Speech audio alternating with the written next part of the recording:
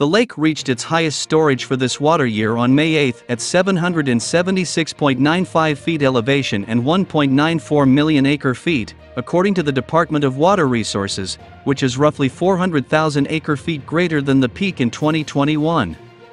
The water year concludes on September 30th, and considerable rainfall is unlikely before then, DWR officials wrote in an email.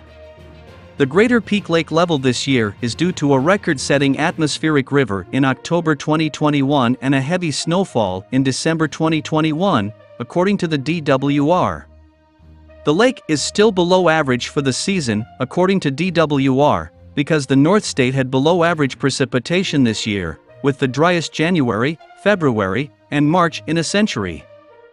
On Friday, the lake level was 766 feet, which was 68 feet higher than the level in 2022 and 43 feet lower than the level in 2022. The Lake Oroville State Recreation areas for asphalt boat ramps are currently operational, according to the DWR, and the lake level is expected to drop to roughly 675 feet, allowing the boat ramp at Bidwell Canyon to stay operational. The Edward Hyatt Power Plant, which sits behind Oroville Dam, was turned off for the first time in its history on August 5, 2021, after water levels fell to 641.93 feet, just below the minimum quantity of water required for operation. According to DWR, the power plant will be able to continue producing hydropower for the rest of the year.